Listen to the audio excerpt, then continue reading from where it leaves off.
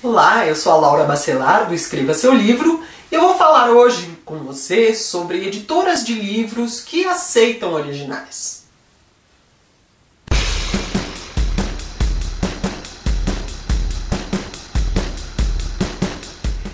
Você escreveu um livro e você quer saber onde estão as editoras que aceitam publicar livros. E aí eu vou dizer a você que existem muitas, a maioria das editoras que existe no mercado, em princípio, aceita originais, dá uma olhada em originais que são apresentados, mas você precisa tomar uns, alguns cuidados. Quais são esses cuidados? Você precisa ver primeiro se a editora atua na área do seu original. Então vamos fazer de conta que você escreveu um livro de fantasia juvenil. Você tem que procurar uma editora que publique fantasia juvenil. Se você for atrás de uma editora que publique só literatura adulta, não vai acontecer nada. Só literatura médica, eles vão jogar fora o seu original. Então precisa, em princípio, haver um, uma combinação de interesses. Então a editora precisa publicar obras parecidas com aquela que você escreveu, no mesmo gênero literário ou de não ficção, mesmo tipo de não ficção que você escreveu. A segunda coisa que precisa acontecer é você precisa enviar o seu original para uma editora que publique autores nacionais. Porque existem algumas editoras no Brasil que arriscam publicar autores nacionais e outras que não arriscam. Elas só, quase que só, publicam autores estrangeiros, elas só traduzem. É um tipo de pensamento, é um tipo de editor diferente. Não é você que vai chegar lá e dizer, ô oh, editor, muda de ideia, pense, considere o meu. Não. A editora já precisa ter abertura para publicar autores nacionais, que é um tipo de risco, é um tipo de trabalho um pouco diferente do trabalho de publicar uma obra traduzida, que já tem um histórico, que já tem um trabalho, que já tem, digamos, um, um retorno esperado. O, o, editor que publica a obra traduzida já sabe mais ou menos o que vai acontecer, enquanto que o que publica nacional não sabe, não tem a menor ideia. Pode ser um grande sucesso, pode não acontecer nada.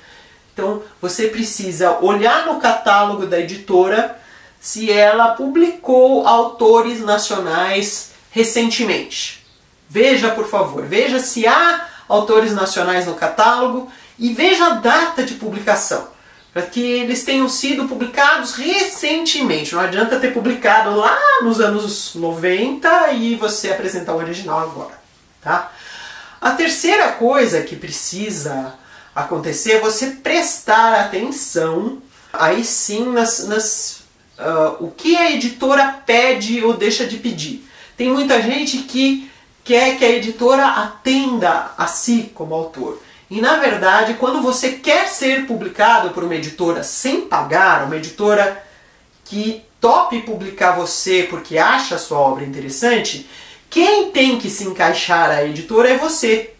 Entendeu? O trabalho é diferente. A editora vai arriscar, talvez, publicar o seu original, mas você tem que fazer o que a editora pede.